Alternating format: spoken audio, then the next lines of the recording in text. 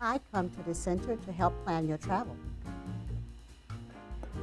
We come for happy hour. I come to explore the work of Black authors.